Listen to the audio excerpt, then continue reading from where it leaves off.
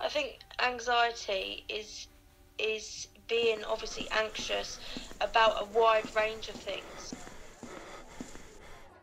I have like different coping mechanisms. I just sometimes I will call my best friend or I'll ring my mum or I just kind of sit down and think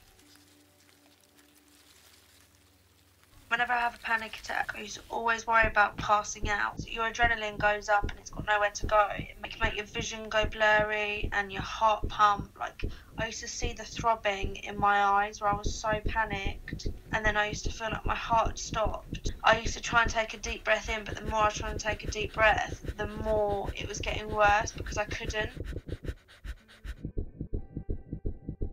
But my anxiety um, mainly I was panicking about my health. Even though there was nothing wrong with my health, I was panicking that there was going to be. It was that what if.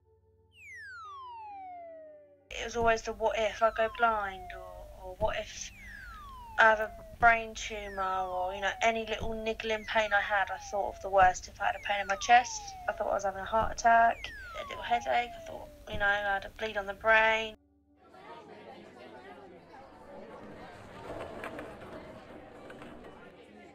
Anxiety is an emotion, but it sort of spreads almost, takes over other other parts of your life. You obsess over it and you let it control you. You know, I couldn't go to the, into a supermarket without feeling I was going to pass out.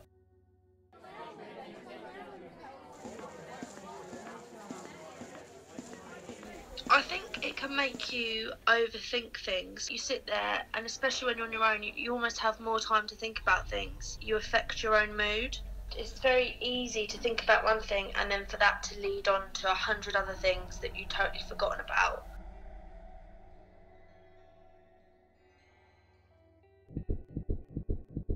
When you have anxiety, it's just having someone there that understands and isn't going to just say, get over it. Hearing it from someone that's actually coped with it, even if it's just your friend, your mum, you know, talking to someone. Talking to someone is always the right answer. I read this thing that said you never know how strong you are until being strong is the only option that you have. I think this has happened before, and I got over it then, and I'm going to get over it now.